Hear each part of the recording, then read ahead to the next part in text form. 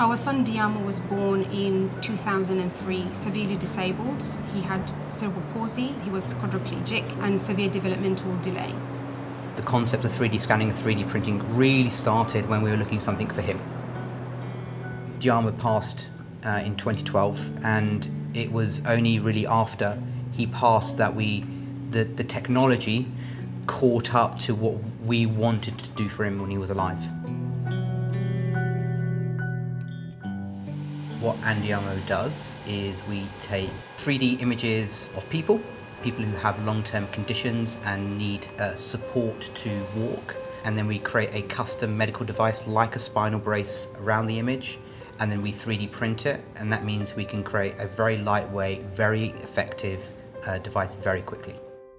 At the moment, it takes up to six months for a child to get a brace back, by which time, if you're a kid, you've outgrown it before you've even got it back. All the children that we have seen so far loved what we gave them. All they needed was an orthosis that fit, and off they went. You have to be tough to run a business, and we've definitely had our moments. We did get to a point where we literally had less than 200 pounds in our, in our account, and we told everybody in the team we cannot make payroll for the end of the month. It felt like all this amazing work we had done was suddenly going to disappear. But things have a way of working themselves out. We were chosen to enter the Global Creator Awards final, and we went on to win $500,000 of investment. The outcome of winning the award has meant we've been able to attract further investment. It means we're able to accelerate our plans.